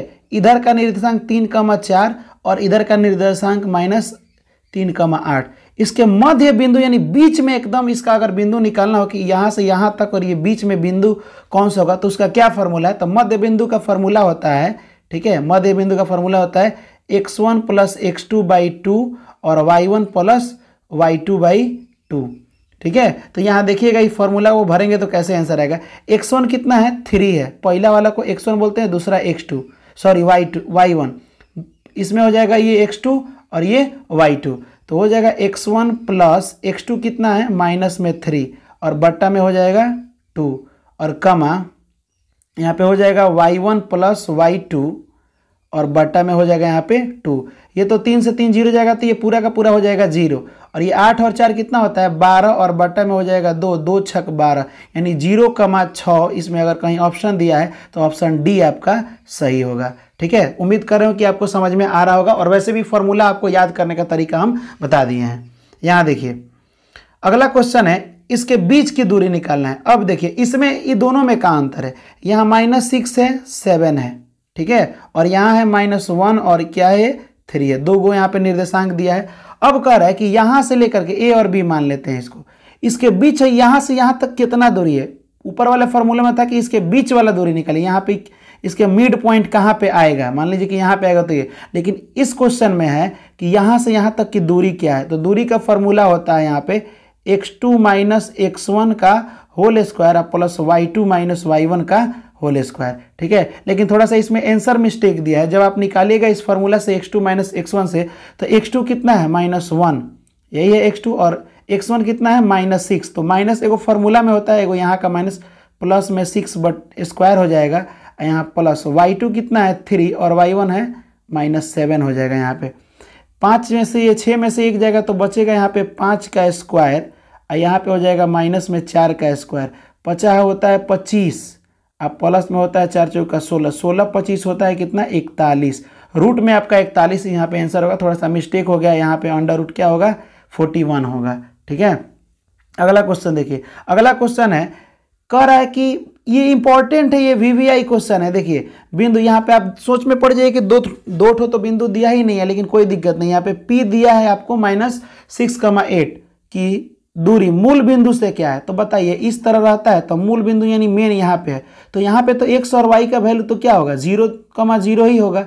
और ज़ीरो कमा ज़ीरो और माइनस सिक्स कमा एट के बीच की दूरी निकालना है। तो वही बात है एक्स टू में से एक्स वन को घटाइएगा और इसमें से इसको घटाइएगा। घटाने के बाद आपका आंसर कितना आएगा? दस आएगा। फॉर्मूला बीच का दूरी का भर लीजिएगा। कौन से बीच की दूरी? तो यहाँ ज़ीरो कमा ज़ीरो और माइनस सिक्स कमा एट के बीच की दूरी का फॉर्मूला भरिएगा। आपका आ जाएगा दस आंसर।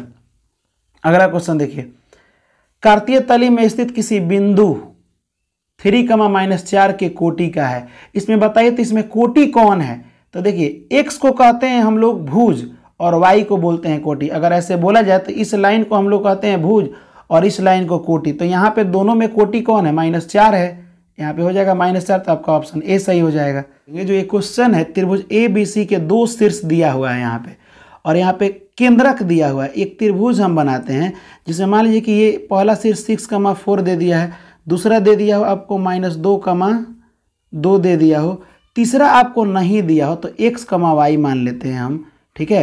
और आपका केंद्रक दिया है, यानी बीच वाला दिया है तीन कमा चार। तो इसका केंद्रक का एक फॉर्मूला होता है, यानी केंद्र बराबर होता है केंद्रक का, ठीक है? X one plus x two plus x three by two, x one plus x two plus x three बटा में टू और comma y one plus y two plus y three by two ठीक है, ये फॉर्मूला भरिएगा तो आ जाएगा। यानी केंद्रक कितना है? तीन कमा माइनस चार और एक्स वन कितना है? सिक्स प्लस एक्स टू कितना है? माइनस दो। अब प्लस एक्स थ्री कितना है? नहीं पता है तो छोड़ दो। अब बट्टा में कितना कर दो? दो। उसी तरह से y one y two y three निकाल करके, ठीक है, कर दीजिएगा और इसके बराबर एक बार थ्री को कीजिएगा। जो वाई वन वाई टू आएगा ठीक है y one y two plus y three by two इसके बराबर एक बार फोर को कर दीजिएगा तो यहाँ से एक्स और वाई दोनों का वैल्यू निकल जाएगा और आपका आंसर आएगा कितना? फाइव यहाँ देखिए, अगला क्वेश्चन है, अगला क्वेश्चन यहाँ पे लिखा है ए का मान निकालना है, जबकि इतना पर सनरेख है। सनरेख का एक नियम पहले बता दे रहे हैं। मान लीजिए कि एक रेखा है, यानी लाइन है, इस पर तीन बिंदु है, एक है एक कमा टू ए उसके बाद से है थ्री कमा वन उसके बाद से है माइनस टू कमा सिक्स। अब क्या करना है कि ये ए हो गया, ये बी हो गया, ये सी हो संरेख का मतलब होता है एक ही रेखा पर वो है कि नहीं। तो कैसे चेक करते हैं? ए, बी के बीच की दूरी, बीच की दूरी का फॉर्मूला बताएँ, निकालिएगा। और फिर से बी, सी के बीच की दूरी के फॉर्मूला को निकालिएगा। और उसके बाद से एक बार ए, सी के बीच की दूरी का फॉर्मूला निकालिएगा। और उसके बाद आप क्या कीजिएगा कि ए, सी बराबर, ठीक है, a, b plus b c आपका आना चाहिए, यानी ए बी आप निकाले होंगे बीच की दूरी बी सी इन दोनों को जोड़िएगा और ए सी को जोड़िएगा। अगर ये दोनों आपको बराबर आए, उस हिसाब से अपना आंसर यहाँ पे आएगा बराबर, और बराबर आएगा तो वहाँ से ए का वैल्यू हो जाएगा चार बट्टा तीन। ठीक है? अगला क्वेश्चन देखिएगा। अगला क्वेश्चन है कि बिंदु, ये कई बार पूछा जा चुका है, कोई ज़रूरी नहीं कि ये क्वेश्चन रहेगा, इस बेस पर क्वेश्चन रहता है, थोड़ा सा ध्यान से इसको समझ लीजिए। यहाँ पे लिख रहे हैं एक, दो, यहाँ पे भी होता है एक, दो यहाँ पे माइनस एक माइनस दो यहाँ पे भी माइनस वन और माइनस टू ये माइनस थ्री आगे बहुत सारा होता है। तो कह रहा है कि पहला वाला तो एक्स का वैल्यू होता है तो यानी इसमें आएगा। ठीक? माइनस एट कहीं होगा। ठीक है? दूसरा वाला वाई का माइनस सिक्स होगा। ठीक है? यानी कि ये किस बॉक्स में आ रहा है? तो पहला बॉक्स ये है, और दूसरा बॉक्स ये है तो ये द्वितीय में आएगा। अगर लास्ट वाला में आएगा तो समझ लीजिए यहाँ पे। ऐसे होता है तो ये भी प्लस वाला, ये भी प्लस वाला तो ये सब प्लस इसमें होता है। प्लस वाला पूछे तो प्लस में जाएगा। एक इसमें माइनस होता है और ये वाला इसमें प्लस होता है। हमेशा पहला वाला ही एक्स होता है। इसमें क्या होता है? एक्स माइनस में और वाई भी माइनस में। तो जो भी अगर दोनों माइनस में होगा तो तृतीय मान चतुर्थांश में जाएगा। और इसमें क्या होता है कि एक्स होता है प्लस में और वाई होता है माइनस में। पहले प्लस लिख रहे हैं क्योंकि एक्स प्लस में पहले होता है। ठीक है? तो ये आप याद रखेंगे। अगला क्वेश्चन देखिए। वाई अक्ष से दूरी क्या कहलाती है? तो वाई अक्ष से दूरी भुज कहलाती है। देखिए कैसे।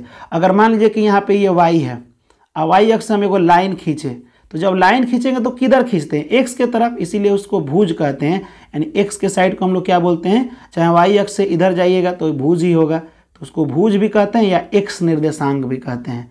ठीक है? अगला क्वेश्चन देखिए nine number nine number question है, त्रिभुज का क्षेत्रफल निकालना है, उसका शीर्ष दे दिया है। तो शीर्ष त्रिभुज का क्षेत्रफल, आपको फॉर्मूला पता होना चाहिए, एक बट्टा टू, ठीक है? और यहाँ होता है x one, y two minus y three, ठीक है? उसके बाद से x two, y three minus y one, उसके बाद से एक्स थ्री, सब प्लस में यहाँ पे होगा, ये वाला सब माइनस में होगा, y one minus y two, ठीक है?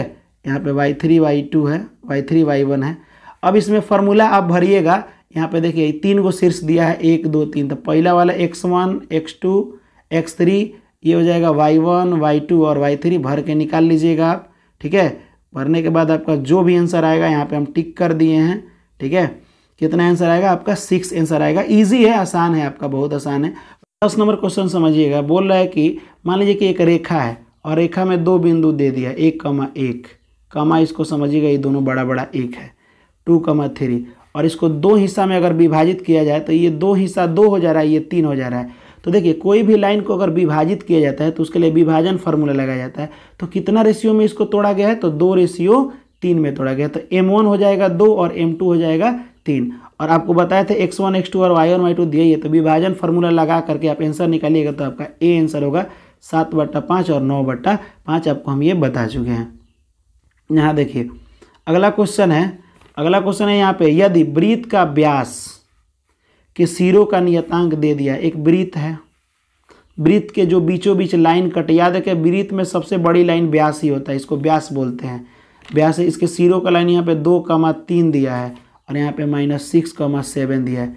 अब पूछ रहा है कि केंद्रक, बीच वाला तो बताइए, दो, एगो लाइन के बीच में निकालने के लिए कौन से फॉर्मूला तो लाइन के बीच में निकालना हो तो मध्य बिंदु लाइन को कहीं से तोड़ना हो, यहाँ मान लीजिए एक एक हिस्सा हो गया, ये थोड़ा सा बड़ा है तो दो तीन हिस्सा हो गया तो वहाँ विभाजन सूत्र, अब बीच की दूरी पूरा लाइन की दूरी को कहते हैं। अभी मध्य बिंदु निकालना है x one x two by two और y one y two by two से।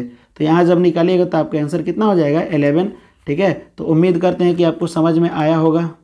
इस लेसन के मल्टीपल चॉइस को शुरू करने से पहले इसका बेसिक जान लें। क्योंकि देखिए बेसिक आपका पूरा क्लियर रहेगा तो क्वेश्चन को समझने में एक परसेंट परेशानी नहीं होगा। यानी कि इसमें आपको पूरा का पूरा एट लेसन नाइन लेसन जो भी है इसका बेसिक बता करके उसके बाद से आप मल्टीपल चॉइस कीजिएगा तो एग्ज़ाम में आपका एक भी क्वेश्चन इससे रिलेटेड नहीं छूटेगा, ये मेरा दावा है। ठीक है, देखिए यहाँ पे।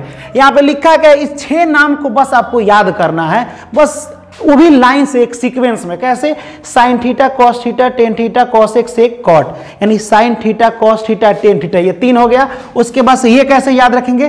कॉसेक लास्ट में कॉसेक में सेक आ रहा है तो फिर एक बार यही बोल देना है सेक और फिर उसके बाद से कॉट यानी कि sine theta cos theta tan theta और ये कॉसेक सेक कॉट ये नाम आप याद रखेंगे इन तीनों नाम को। और ये तो आप जानते हैं साइन थीटा बराबर होता है लंब बट्टा कर्ण कॉस थीटा बराबर आधार बट्टा कर्ण और टेन थीटा बराबर लंब बट्टा आधार। यानी जब भी पहला वाला बोले साइन थीटा, यानी लंब एक बार कर्ण के साथ जाएगा। ठीक है? देखिए, ये जो कर्ण है, ये दोनों के साथ रहेगा। फिर जब कॉस थीटा बोलेगा तो यहाँ आधार एक बार इसी के साथ जाएगा। और जब टेन थीटा बोलेगा तो एक बार था ये इसके साथ, एक बार ये था इसके इसके साथ। आधार वाला। और टेन थीटा में ये कर्ण हट जाएगा और लंब और आधार साथ में आ जाएगा। ठीक है? और इसी का उल्टा ये कौशिक होता है। जब पूछा जाएगा तीनों के बाद कौशिक थीटा तो साइन का उल्टा होता है। यानी कि साइन को उल्टा करिए कर्ण बट्टा ये हो जाएगा लंब। कॉस थीटा यानी सेक थीटा क्या होगा? तो यहाँ पे सेक थीटा हो जाएगा आपका कर्ण बट्टा आधार। और यहाँ पे जो कॉट थीटा लिखा है कॉट जो होता है टेन का उल्टा होता है। यहाँ पे कॉट थीटा क्या हो जाएगा? कॉट थीटा बराबर हो जाएगा आपका यहाँ आधार बट्टा में लंब। अब देखिए यहाँ पे यहाँ पे भी टी है और यहाँ पे भी टी है। तो याद रखिएगा टेन कॉट का उल्टा होता है। टॉट टॉ का उल्टा होता है, यानी कि टेन कॉट का उल्टा होता है, इसीलिए उल्टा हो गया है। ठीक है? यहाँ तक आप समझ रहे होंगे। और ये चीज़ हमेशा के लिए याद कर लीजिए। कहीं भी अगर आप लंब देखिएगा और कर्ण देखिएगा, मान लीजिए कि इसमें लंब दे दिया हो दो सेंटीमीटर कर्ण दे दिया हो, मान लीजिए कि आपको कुछ तीन या पाँच कुछ भी दे दिया हो तो समझिए कि साइन थीटा दिया है। क्या दिया है? जिसमें लंब भी है और कर्ण भी है। ये आगे के लिए काफ़ी इंपॉर्टेंट रहेगा। अब देखिए, हम बात करते हैं यहाँ पे, फॉर्मूला कितना इंपॉर्टेंट है। इस बार आपके एग्ज़ाम में सबसे ज़्यादा फॉर्मूला से क्वेश्चन रहेगा। और वो कैसे कैसे रहेगा, आप ध्यान से देखिएगा। यहाँ से फॉर्मूला कैसे बनेगा? एक फॉर्मूला होता है sine theta into cosec theta is equal to one होता है। ये फॉर्मूला कैसे आता है? तो देखिए, यहाँ पे लॉजिक द्वारा आप समझिएगा कैसे आता है।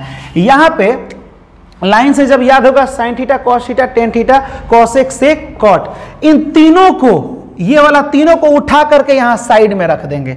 यहाँ उठा करके क्या करेंगे? साइड में, यानी हो जाएगा कॉसेक थीटा उसके बाद से हो जाएगा सेक थीटा और ये हो जाएगा कॉट थीटा सेम यही को यहाँ पे लिख दिए हैं और उसके बाद से क्या करना है? हमको यहाँ मल्टीप्लाई लगा देंगे तो इसका वैल्यू हो जाता है वन उम्मीद कर रहे हैं कि आपको समझ में आ रहा होगा, ठीक है? यही तीनों को सेम उठा के रख देंगे और बीच में खाली मल्टीप्लाई लगा दें तो ये फॉर्मूला बन जाएगा वन अब देखिए ट्राइगोनोमेट्रिक में यानी त्रिकोणमिति में कहा जाता है, तीस बत्तीस लगभग फॉर्मूला आता है। लेकिन ऐसा कुछ नहीं है, बहुत आसान होता है, इसी से सब बनता है।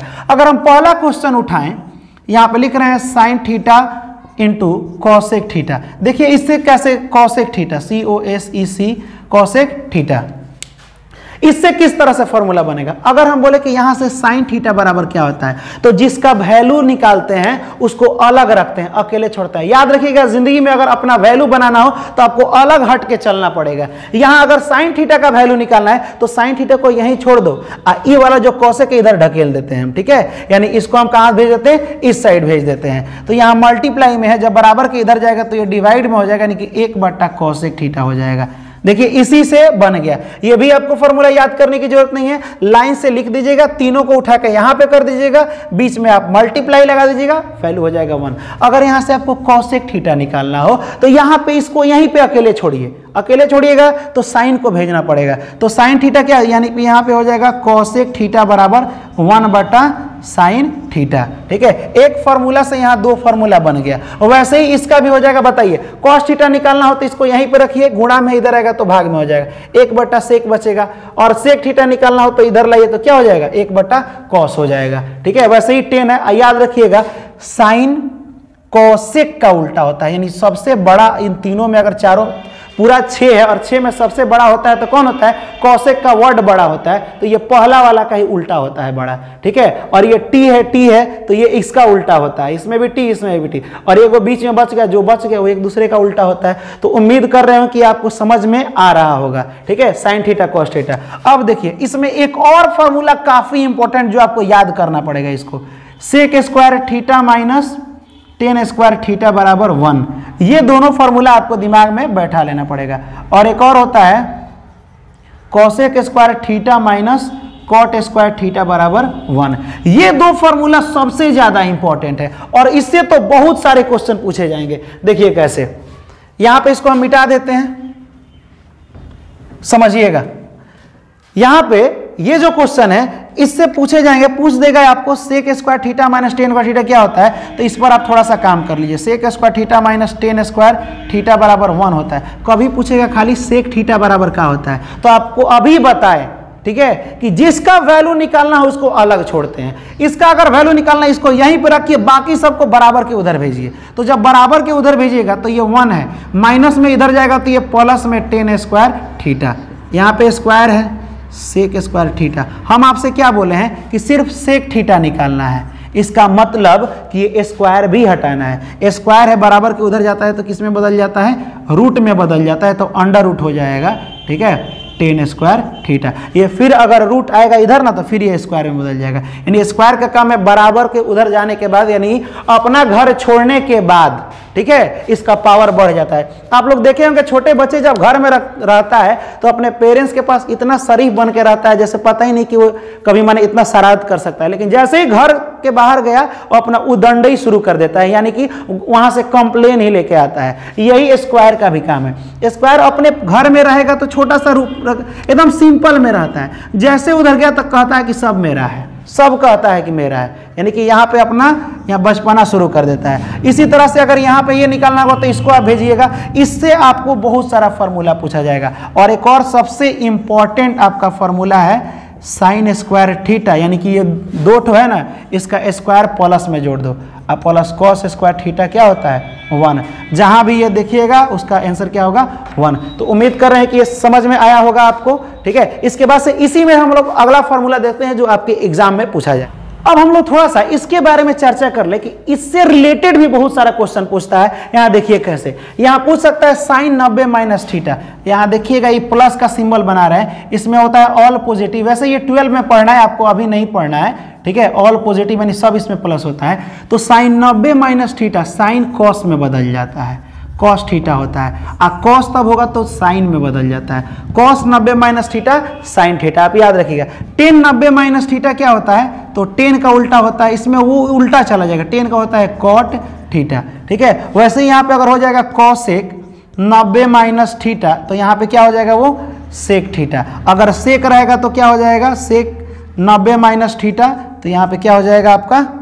कॉसेक थीटा ठीक है? तो ये आप इतना याद रखेंगे कि साइन नब्बे माइनस हो तो कॉस कॉस हो तो साइन टेन हो तो कॉट कॉसिक हो तो सेक और सेक नब्बे माइनस थीटा हो तो कॉसेक हो जाएगा। ठीक है? क्योंकि ये आपके एग्ज़ाम में कई बार पूछा जा चुका है मल्टीपल चॉइस के रूप में कि टेन नब्बे माइनस थीटा क्या होता है, और ऑप्शन में सब दिया रहेगा तो टेन नब्बे माइनस थीटा टेन का उल्टा कॉट होता है। ये आप दिमाग में बैठा लीजिए। अब हम लोग चलते हैं क्वेश्चन की तरफ़। फ़र्स्ट क्वेश्चन हम लोग यहाँ पे देखेंगे। लिखा है यहाँ पे सेक थीटा बराबर तेरह बाई बारह, यानी थर्टीन बाई ट्वेल्व दिया है। और पूछा है कॉट थीटा क्या होता है?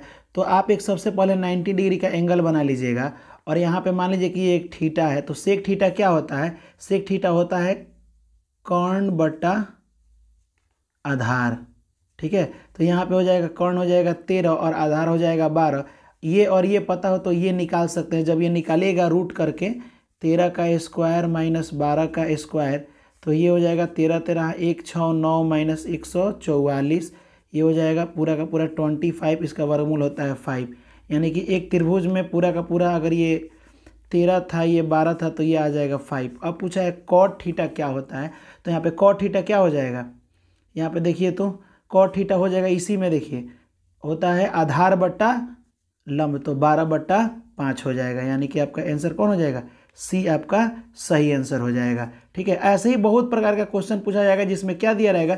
दो ठो दिया रहेगा तो तीसरा आपको निकाल लेना है इस फॉर्मूला से, कर्ण वाला से, और उसके बाद से अलग अलग किस, कोई भी प्रकार का क्वेश्चन बन जाएगा। अब देखिए, अगला क्वेश्चन है क्वेश्चन क्या है? ये एक फार्मूला है, ध्यान से देखिए।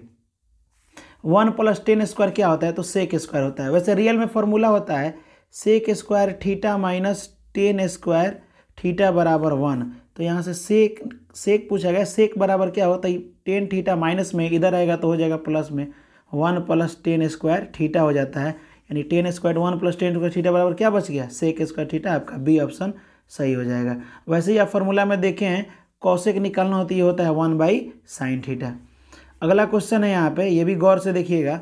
यहाँ ऐसे क्वेश्चन दिया और इसका मान निकालने को बोला है। तो यहाँ उसे साइन थीटा बराबर हो जाएगा एक ये आ जाएगा तो बट्टा में आ जाएगा दो। एक बट्टा दो किसका होता है? फॉर्मूला तो साइन में एक बट्टा दो, यहाँ एक, दो रो तीन। साइन तीस का मान होता है, यानी लम बट्टा कर्ण। तो यहाँ पे हो जाएगा साइन थीटा बराबर साइन तीस। ये आपको हम समझा दिए हैं, और साइन से साइन कट गया थीटा बराबर कितना है? तीस डिग्री। थीटा याद रखिएगा, तीस डिग्री ले जाके इसमें पुट कर देना है। थ्री कॉस स्क्वायर तीस डिग्री या प्लस में थ्री यहाँ पे हो जाएगा थ्री कॉस स्क्वायर तीस का मान कॉस तीस का मान होता है रूट थ्री का स्क्वायर ये स्क्वायर है तो स्क्वायर प्लस में तीन। स्क्वायर से रूट खत्म हो जाएगा, तीन तरीका नौ और नौ और यहाँ पे तीन है। नौ और तीन कितना होता है? बारह होता है। तो ये आपको समझ में आया होगा, आपका ऑप्शन हो जाएगा ए सही। यहाँ पे इसको बनाने के लिए थोड़ा सा लॉन्ग है ये, ठीक है? यहाँ पे देखिएगा, थोड़ा सा हम समझा दे रहे हैं आपको। वन प्लस टेन थीटा का होता है साइन थीटा बटा कॉस थीटा और प्लस वन बट्टा सेक थीटा का होता है क्या? वन बट्टा कॉस थीटा। वैसे ही इसमें भी आप वैल्यू भर लेंगे और वैल्यू भरने के बाद से ये जब सॉल्व करेंगे आप, ठीक है तो आपका यहाँ पे आंसर आएगा दो। ठीक है, आप अपना देख लीजिएगा, क्योंकि ये बहुत लंबा जाएगा। अगला क्वेश्चन देखिए, ये अभी बताए थे किस टाइप का होगा। एक सबसे पहले त्रिभुज बनाइए टेन थीटा क्या होता है? लंब बट्टा आधार होता है, यानी तो लंब ये हो जाएगा आठ और आधार ये। जब ये और ये दिया है तो कर्ण निकालने के लिए क्या करेंगे हम लोग? कभी भी दो दिया है तो तीसरा निकाल लेते हैं। यानी यहाँ पे जाएँगे हम लोग आठ का स्क्वायर, अब प्लस में पंद्रह का स्क्वायर। आठ का स्क्वायर होता है चौंसठ, पंद्रह का स्क्वायर होता है दो सौ पच्चीस। ठीक है? और जब इसको हम लोग जोड़ेंगे तो यहाँ पे कितना हो जाएगा? लगभग यहाँ पे टू एटी नाइन हो जाएगा। ये किसका वर्गमूल होता है? सत्रह का होता है। ये आ गया सत्रह। क्या पूछा है? कौशिक ठीठा कौशिक ठीठा होता है क्या? कर्ण बट्टा लंब होता है, यानी सत्रह बट्टा आपका आठ हो जाएगा। कर्ण बट्टा लंब, आपका ए ऑप्शन सही होगा। अगला क्वेश्चन है, यदि ए और बी दोनों न्यून कोण है, यानी नब्बे डिग्री से कम है तो एक त्रिभुज बनाइए। ए और बी नब्बे डिग्री से कम है तो साइन ए बराबर क्या है? कॉस बी है। तो ए प्लस बी निकालना है। तो आप निकाल लीजिए, मान लीजिए कि ये मान लेते हैं ए, ये बी, ये मान लेते हैं हम सी, ठीक है? और यहाँ पे ये दोनों क्या है? दोनों आपस में बराबर दिया है। तो यहाँ से हम ऐसे भी तो निकाल सकते हैं। साइन थीटा साइन हो जाएगा ए ऐसे लिख, एक मिनट इसको हटा दें हम। Sine A is equal to cos B के जगह पर हम लिख सकते हैं साइन नब्बे माइनस ए साइन नब्बे माइनस थीटा क्या होता है? कॉस थीटा होता है। साइन से साइन कट जाएगा। यहाँ बी है सॉरी यहाँ बी दिया है, ठीक है? ए बराबर, ये हो जाएगा नब्बे माइनस बी ये माइनस में अभी इधर आएगा तो प्लस में हो जाएगा तो होगा ए प्लस बी बराबर नब्बे डिग्री। ठीक है? आपका ऑप्शन यहाँ पे कौन सा सही हो जाएगा? तो देखिए आपका ऑप्शन यहाँ पे सी सही हो जाएगा। इस टाइप का क्वेश्चन को थोड़ा सा इसको गौर से देखिएगा। देखिए इस क्वेश्चन में क्या इंपॉर्टेंट है। कभी भी अगर बट्टा में इस टाइप का क्वेश्चन दे और वो ना तीस दिया, तीस डिग्री भी नहीं हो, साठ डिग्री भी नहीं हो, नब्बे डिग्री भी नहीं हो, पैंतालीस डिग्री भी नहीं हो, इस सब छोड़ करके और कोई दूसरा नंबर दे इन दोनों का योग देखना हमेशा नब्बे देगा। इन दोनों को जोड़ा जाएगा तो हमेशा नब्बे आएगा। और बट्टा में दिया हो ध्यान से देखिएगा, अगर बट्टा में दिया हो तो हमेशा उसका आंसर वन आता है। अगर यही चीज़ अगर माइनस में दिया रहता, जैसे साइन फोर्टी नाइन माइनस यहाँ पे दिया हो आपको कॉट फोर्टी वन तो इसका आंसर डायरेक्ट क्या होगा? ज़ीरो होगा। तो अगर यही चीज़ अगर माइनस में दिया हो तो ज़ीरो होगा और बट्टा में दिया हो ठीक है? या फिर इंटू में दिया इंटू यानी गुणा में दिया हो तो उसका वैल्यू कितना होता है? वन होता है, ये आप दिमाग में रखिएगा। इंटू में स्क्वायर होता है, इसीलिए वन हो जाएगा फॉर्मूला के अकॉर्डिंग लेकिन एक चीज़ आपको बस इसमें एक ही चीज़ ध्यान रखना है कि अगर बट्टा में हो और टेन और साइन टेन और कॉट हो साइन और कॉस हो कॉसेक और सेक हो, ऊपर नीचे हो तो उसका आंसर हमेशा क्या होता है? वन होता है, ठीक है? वैसे निकाला जा सकता है टेन के जगह पर आप डायरेक्ट लिख सकते हैं यहाँ पे कॉट ऐसे नब्बे माइनस फोर्टी नाइन बटा कॉट फोर्टी वन कॉट नब्बे माइनस फोर्टी नाइन हो जाएगा कॉट आपका हो जाएगा फोर्टी वन, अब बट्टा में कितना हो जाएगा कॉट फोर्टी वन कट जाएगा तो ये वही बचेगा। बहुत तरीका से, ये दो तरीका से बनता है। पहले यहाँ लोग लिखते हैं कैसे, बहुत सारे लोग ऐसे भी बता देते हैं, टेन फोर नब्बे माइनस फोर्टी नाइन, ठीक है? और बट्टा में ये कॉट लिखते हैं फोर्टी वन, और ये टेन, नब्बे माइनस थीटा लोग करते हैं तो क्या होता है कॉट घटाने पर आता है फोर्टी वन नीचे भी फोर्टी वन तो कट जाता है। ऐसे ऐसे भी सही है, ठीक है? तो आपका वन आंसर हो जाएगा। अगला क्वेश्चन सेम वैसे ही है फिर। दे दिया है दो ठो वैल्यू तीसरा पूछ रहा है तो फिर एक बनाइएगा त्रिभुज और साइन थीटा होता है लंब बट्टा कण यानी आठ बट्टा सत्रह। तो ये आधार कैसे निकलेगा? तो यहाँ पे आप आधार निकाल सकते हैं अंडर रूट सत्रह का स्क्वायर में से आठ का स्क्वायर घटा दीजिएगा। तो सत्रह का स्क्वायर कितना होता है तो सत्रह का स्क्वायर आपका होता है टू एटी नाइन में से चौंसठ घटा लीजिए। जब टू एटी नाइन में से आप चौंसठ घटाइएगा तो आपको देखने को मिलेगा दो सौ पच्चीस कितना मिलेगा? दो सौ पच्चीस दो सौ पच्चीस का वर्गमूल होता है पंद्रह। ये आपका आ गया कितना? पंद्रह। अब यहाँ से क्या निकालना है आपको? निकालना है कॉट ए कॉट थीटा क्या होता है? तो आपका कॉट थीटा हो जाएगा। एक तरह से देखें हम अच्छा एक मिनट तो यहाँ पे हम ए माने तो कॉट ईटा हो जाएगा आधार बट्टा लम यानी पंद्रह बट्टा आठ हो जाएगा। ठीक है, आपका आंसर हो जाएगा ये नहीं, पंद्रह बट्टा आठ आपका सी आंसर होगा। ठीक है तो उम्मीद कर रहे हो कि आपको समझ में आ रहा होगा। अगला क्वेश्चन देखिए, अगला क्वेश्चन यहाँ पे है, ये बोले ना कि अगर साइन हो कॉस हो और माइनस में हो चीज़, ठीक है तो वैसे भी आपका आंसर ज़ीरो ही होगा, लेकिन यहाँ पे देख लेते हैं हम थोड़ा सा, अगर प्लस रहता तो इसका वैल्यू कितना होता? वन होता है, क्योंकि sine square theta plus cos square theta one होता है। यहाँ पे क्या है? माइनस दिया है। अगर माइनस दिया है तो यहाँ पे साइन नब्बे माइनस थीटा करें थोड़ा सा यहाँ प्लस ही होना चाहिए, थोड़ा बहुत यहाँ मिस्टेक हुआ है। क्योंकि यहाँ अगर पैंतालीस है ना तो यहाँ पे नब्बे में से पैंतालीस घटाने पर जो बचेगा तो पैंतालीस ही होगा। बात तो सेम है, ठीक है? तो यहाँ पे एक काम करते हैं, बना भी लेते हैं। फोर्टी फाइव है, और यहाँ हो जाएगा। साइन में बदल साइन नब्बे माइनस पैंतालीस कितना होता है? बात तो वही होता है, कितना साइन पैंतालीस ही होगा आपका, ठीक है? ये कट जाएगा, घट जाएगा तो आपका ज़ीरो आंसर इसमें होगा आपका, ठीक है? अगला क्वेश्चन देखिए, अगला क्वेश्चन है, ये भी बहुत आसान है, कुछ भारी नहीं है। यहाँ अगला क्वेश्चन है, इसको सॉल्व कर लीजिए माइनस में इधर भेजिएगा तो प्लस में हो जाएगा, ठीक है? इसको को भेज दीजिए, प्लस में या इसको बट्टा में, यानी साइन टू ए बराबर हो जाएगा, माइनस में वन इधर आएगा तो प्लस में, फिर साइन टू ए बराबर क्या होगा? एक बट्टा, ये बट्टा में आ जाएगा, नीचे दो। किसका मान साइन के टर्म में होता है? तो यानी कि यहाँ पे देखिएगा, एक, दो, रूट, तीन, यानी एक बट्टा दो होता है साइन तीस का मान, ठीक है? तो यहाँ लिखिएगा, साइन टू ए बराबर साइन तीस। और साइन से साइन कट जाएगा तो टू ए बराबर बचा तीस। दो से कटेगा तो ये पंद्रह हो जाएगा, यानी ए बराबर आया पंद्रह डिग्री। ए का मान कितना आया? पंद्रह डिग्री। अगला क्वेश्चन है ये। इसमें काम कीजिए, दोनों में नाइन मिल रहा है, कॉमन ले लीजिए। तो बचेगा sine sec square A minus tan square A और ये बताइए सेक स्क्वायर टे सेक स्क्वायर ए और टेन स्क्वायर ए क्या होता है? वन होता है फार्मूला में, ठीक है? और इधर नाइन है तो नाइन में जब वन से हम लोग गुणा करेंगे तो nine into one nine A हो जाएगा, ठीक है? तो आपका आंसर हो जाएगा बी सही है, ठीक है? अगला क्वेश्चन देखिए। अगला क्वेश्चन कैसे है? थीटा का मान निकालना है ये भी काफ़ी आसान है, इसको पहले बट्टा में भेज दिए तो इधर हो जाएगा sine two theta is equal to root three by two. ये किसका मान होता है? साइन के टर्म में। तभी तो साइन से साइन कटेगा। तो यहाँ देख लीजिएगा, ये एक फार्मूला बताए हैं हम। यानी साइन थीटा होता है root three by two, sine साठ का मान होता है। यहाँ पे साइन टू थीटा बराबर साइन साठ। साइन से साइन कट जाएगा, यहाँ हो जाएगा दो से कटाओगे तो कितना होगा? तीस। थीटा बराबर तीस डिग्री आएगा। ठीक है? यानी आपका ऑप्शन ए सही है। अगला ये तो फॉर्मूला आप जानते हैं sine square theta plus cos square theta क्या होता है? वन होता है। यहाँ पे वन दे ही दिए हैं बाय मिस्टेक यहाँ पे वन ही आपका आंसर होगा। अगला क्वेश्चन देखिए।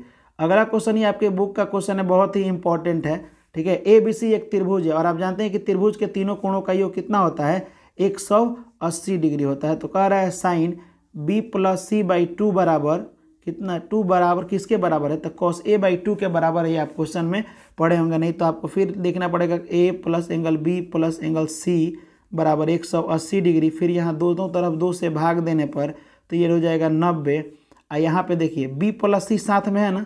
तो एक बार बी प्लस सी को साथ में कीजिए ए प्लस इतना को अलग अलग कर दीजिए। यानी मेरे कहने का मतलब है कि एंगल ए को अलग कर दीजिए ऐसे angle B plus angle C साथ में रखिए। बटा टू यहाँ नब्बे कटा था।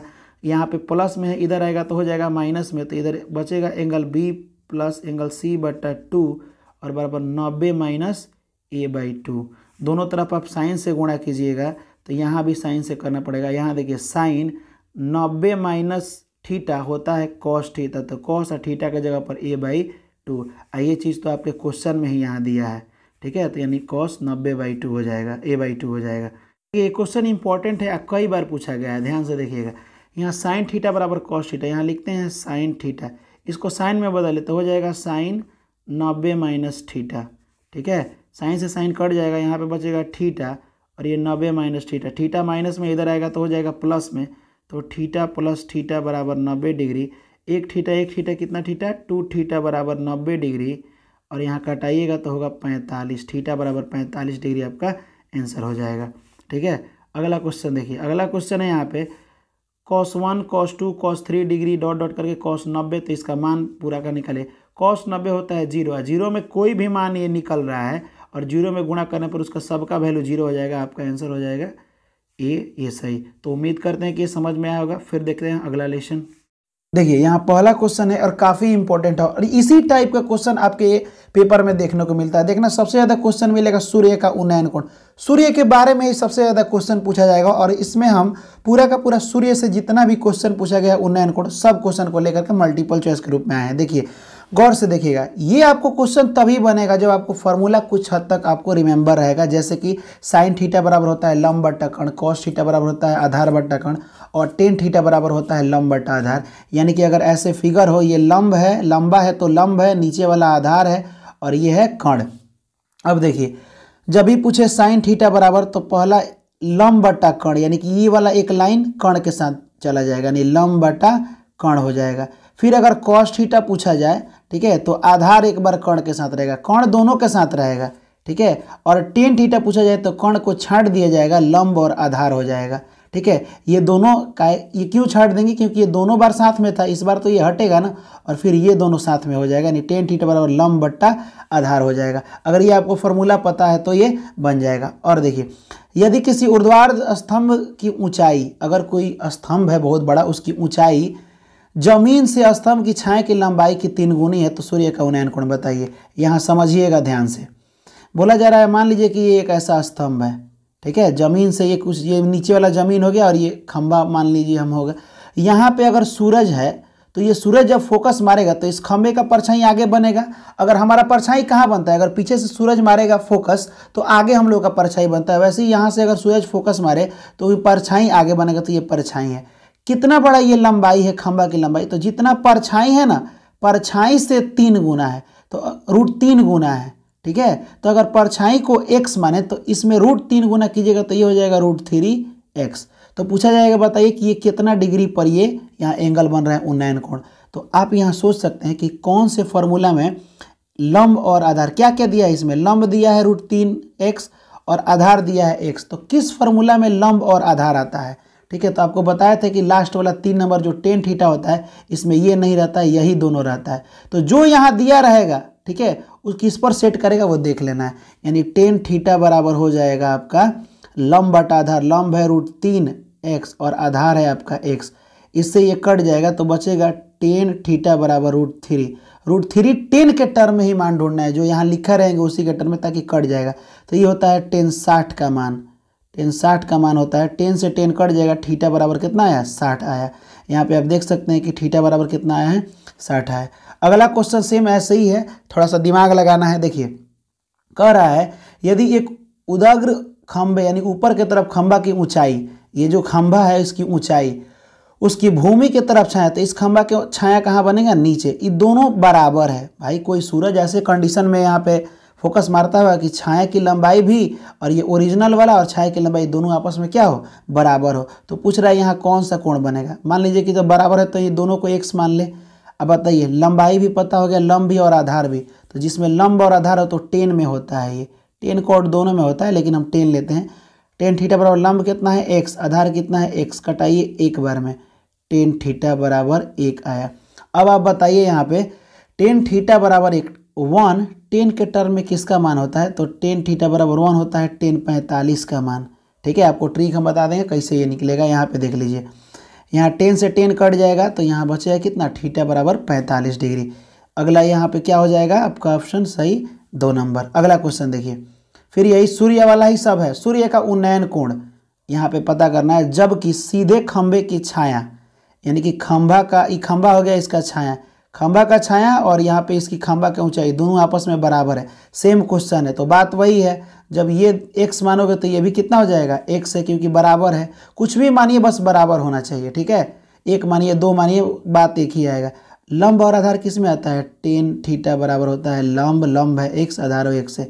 एक बार में कटेगा, फिर ये एक टेन पैंतालीस का मान टेन से टेन कट जाएगा और बचेगा पैंतालीस, आपका आंसर बी हो जाएगा।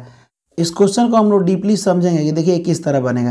क्वेश्चन है, यदि किसी सूरज का झुकाव पहले 45 डिग्री पर था, पैंतालीस, पहले मान लीजिए कि ये ऐसे हम एक फिगर बना दिए, और यहाँ पे समझिए नब्बे डिग्री, यहाँ सूरज है तो यहाँ जब झुका है तो पहले यहाँ पे 45 डिग्री का कोण बनाता है, ठीक? थोड़ा सा और ये ऊपर उठेगा तो जैसे तो परछाई, ज़ाहिर सी बात है, ये परछाई है, छाया है तो ये पीछे आते जाएगा तो यहाँ से आया है तो एक बार हुआ है साठ डिग्री का कोण बना है। तो जब यहाँ से 45 पहले था, फिर ये साठ डिग्री कोण बनाया तो इसका छाया 50 मीटर घट गया है। ठीक है? तो पूछा जा रहा है कि ये इसकी ऊंचाई कितनी है, यानी कि मीनार की ऊंचाई निकालना है एक्स का मान। तो हम एक काम करते हैं, पूरा को इसको एक्स मानते हैं। ठीक है? नीचे का बेस ए बी सी में बी सी बराबर मानते हैं हम एक्स और निकालते हैं टेन कितना? टेन पैंतालीस निकालते हैं। एक काम करेंगे, जब हम टेन पैंतालीस निकालेंगे टेन पैंतालीस तो कितना होगा? टेन पैंतालीस आपका हो जाएगा लंब, यानी ए बी अब बट्टा में कितना होगा? बी सी यहाँ टेन पैंतालीस एक होता है और ए बी तो नहीं पता है तो छोड़ दीजिए। आप बी सी को माने हैं एक्स जब तिरछा तिरछी गुणा कीजिएगा तो एक्स बराबर हो जाएगा आपका ए बी ए बी कितना आ गया? एक्स आ गया। ठीक है? इसको दिमाग में हम लोग रखेंगे कि ए बी कितना आ गया है? एक्स आ गया है। इसको थोड़ा सा हम इरेज कर दें।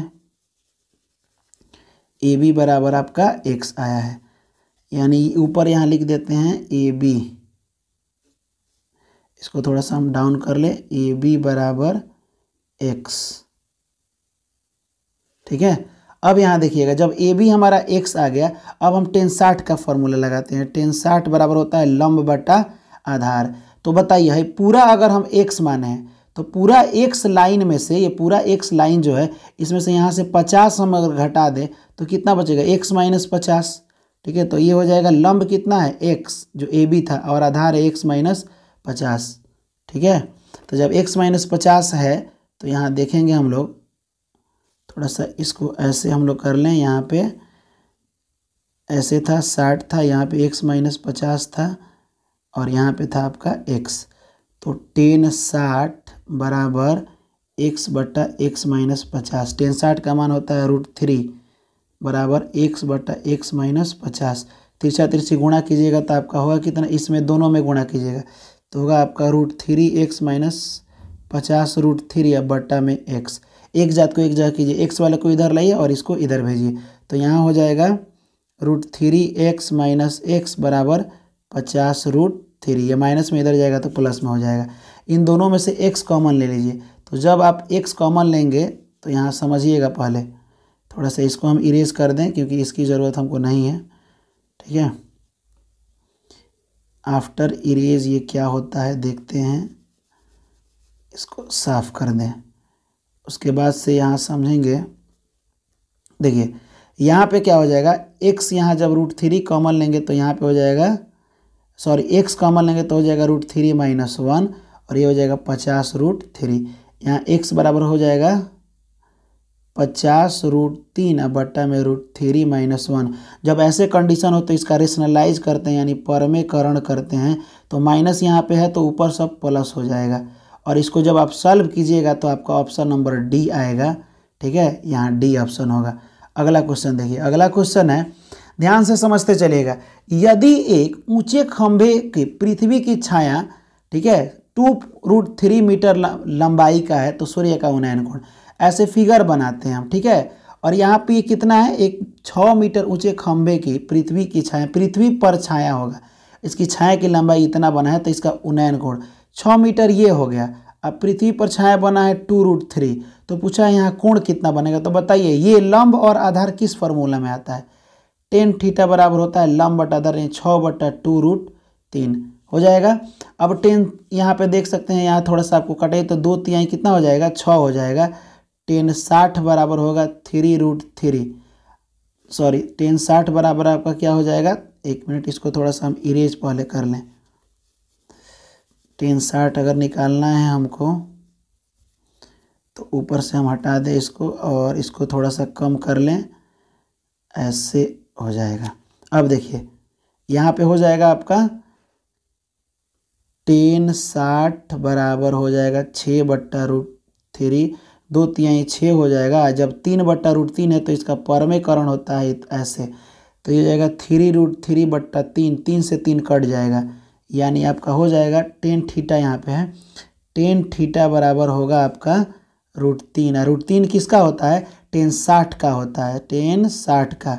टेन से टेन कट जाएगा थीटा बराबर आएगा आपका साठ। ठीक है? यहाँ थीटा कितना आ जाएगा?